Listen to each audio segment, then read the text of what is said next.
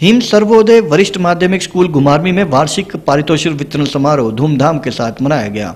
समारोह में मुख्य अतिथि के रूप में प्रोफेसर पी एल शर्मा ने शिरकत की।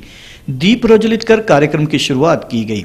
स्कूल के प्रधानाचार्य ने वार्षिक रिपोर्ट पढ़कर मुख्य अतिथि को अवगत करवाया। तत्पश्चात कार्यक्रम की शुरुआत की गई। मुख्य अतिथि को स्कूल प्रबंधन की ओर से शॉल, टोपी और स्मृति चिन्ह देकर भी सम्मानित किया गया। वार्षिक समारोह में स्कूली बच्चों ने स्वागत गीत, एकल नृत्य, नाटक, रीमिक्स गीत, पहाड़ी गीत, पंजाबी व नाटिक की मनमोहक प्रस्तुतियाँ दी। अपने संबोधन में मुख्य अतिथि ने कार्यक्रम की खूब सराहना की और स्कूल प्रबंधन को बेहतरीन कार्यक्रम करने की बधाई दी। मुख्य अतिथि ने बच्चों से आह्वान किया कि बच्चे देश का भविष्य होते हैं और उन्हें अपने आप पर निर्भर होकर सभी को साथ लेकर काम करना चाहिए।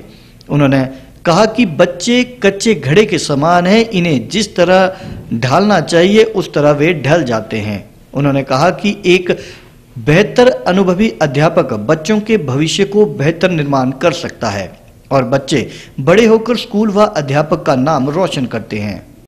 आज वरिष्ठ माध्यमिक पाठशाला कुमारवी में वार्षिक पारितोषिक वितरण समारोह मनाया गया और बहुत धूमधाम से इसको हमने मनाया और आ, हम शुक्रगुजार हैं doctor P L Sharma ji के जिन्होंने विद्यार्थियों को अपने चिन्हों पे चलने की सलाह दी और हम भी उनके धन्यवादी हैं जो उन्होंने अपना कीमती समय निकाला और हमें अपना मार्गदर्शन दिया।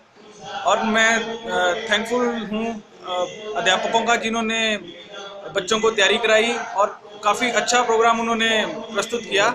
बहुत बहुत धन्यवाद सभी का।